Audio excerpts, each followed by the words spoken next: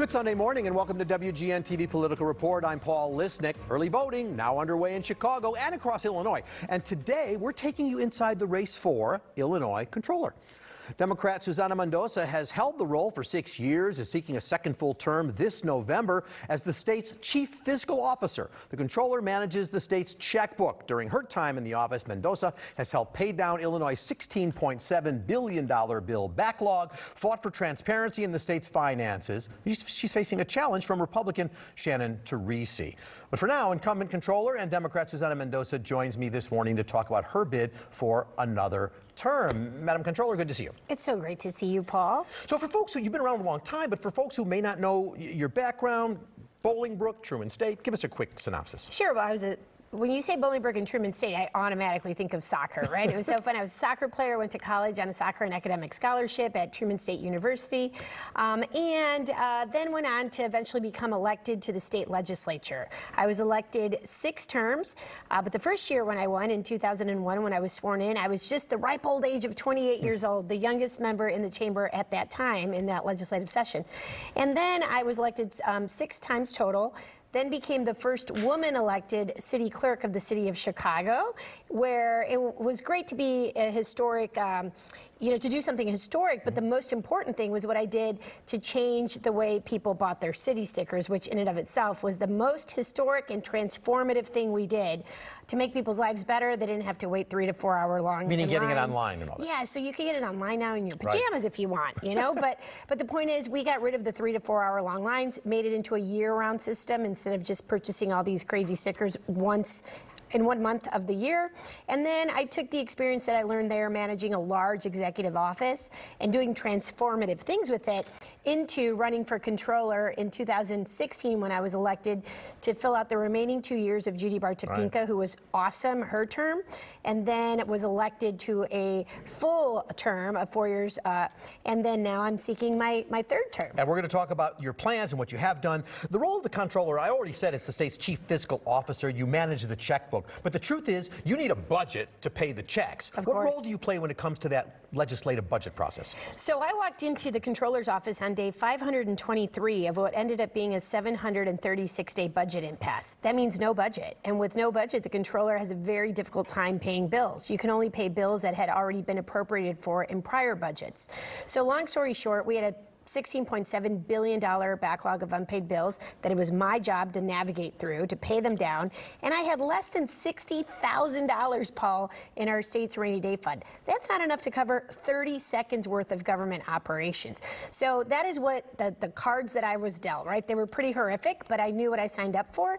And I promised to not just pay down that bill backlog, which I've done. Today we actually have an accounts payable of $2 billion. But I did it without using a penny of federal stimulus money because we hadn't even received the ARPA dollars yet by the time I paid down our bill backlog. So you did, the, the bills got as bad, backlog $16.7 billion, I think as I said in 2017, and our credit rating was just one notch above junk. Where are we today?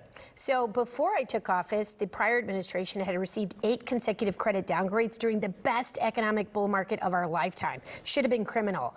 I was dealt the worst financial crisis, and I delivered not just one, two, three, four, or even five, but now six full full credit upgrades, by the way, in the middle of a global pandemic. It doesn't get better than that. Your opponent says the way you got those bills paid down was because you relied on federal pandemic relief money, which totaled about $185 billion when you include everything, stimulus checks and aid to, to uh, local banks and schools, paycheck protection programs and such. So is it because of the federal money? No, of course not. I hadn't even received the federal money yet. And to say that, you know, I know she's launched this number about $185 billion. That includes money to pretty much every single well, that person came from her campaign. in Illinois. I know, I'm using her number.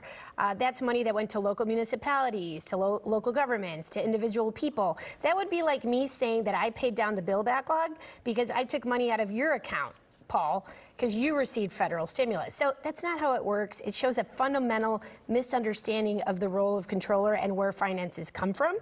I know what I'm doing. I think voters have known that, which is why over 2 million, almost 3 million people have voted to elect me uh, the last two times I've come up. She was appointed to office, has very little experience, and clearly just is unaware of what the role is or the facts. And we'll hear from her later. Um, what have you done? So, if you were not comptroller now or later, what would what have you done that would ensure that any comptroller can carry on what you've been doing in terms of the protections? And what I have in mind is the Debt Transparency Act and some of those kind of steps. Sure. Well, thanks for saying that. When I first got elected and had to manage through 16.7 billion dollars, you'll be shocked to know that I couldn't.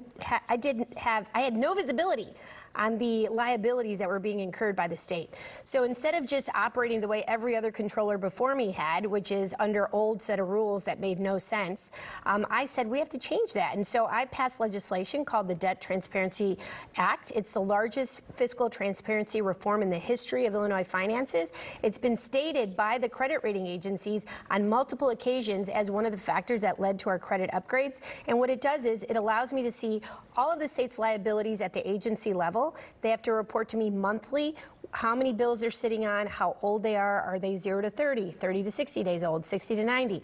After 90 days, we start to accrue late payment interest penalties. So I need to know how many bills are accruing those penalties. Without that level of visibility, which any CFO at any company should already have, but Illinois did not, no comptroller could do their job well. So I have absolutely transformed this office in a way that will be beneficial for future comptrollers, although I hope that the future one in this cycle continues to be me. And so you also created a vendor payment program. It allowed third-party investors to purchase unpaid bills. They would get the interest down the line. Some investors uh, were upset saying, well, the principal's getting paid, but we're not. Is there an update on that? So number one, I did not create that program. That was created by CMS, and it was under a different governor. And um, I think that that program, while it was a necessary evil during the budget impasse because there was no budget, so people were hemorrhaging their businesses.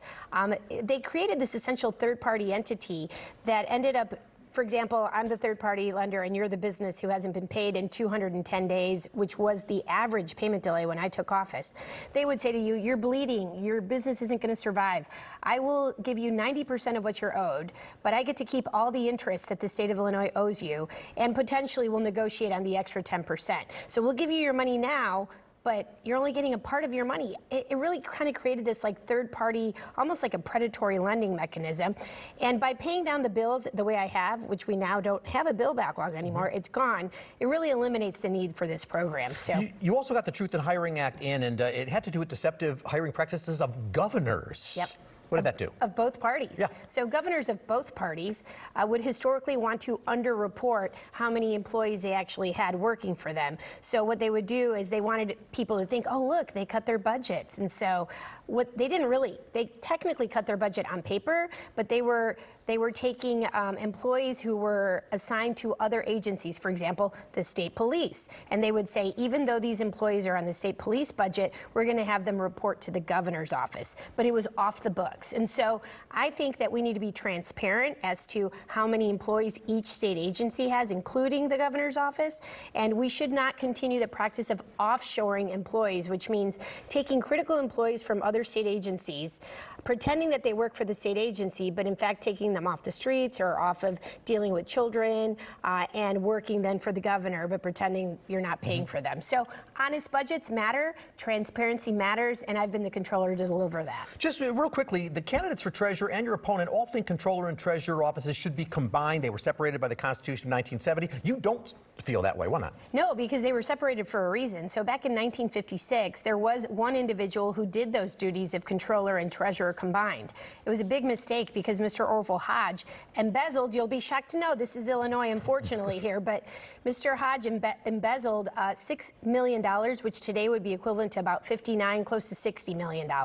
He went to jail, but obviously the person who had access to the money should not have had access to the checkbook. So um, if you think this can't happen again, it did in 2012 with Rita Crundwell in Dixon, Illinois, who was also combined. Uh, duties of treasurer and comptroller. She embezzled $54 million, today the equivalent of 60 million. So the two largest government embezzlement schemes in the history of the United States of America happened here in Illinois, where the comptroller and the treasurer functions were held by the same person.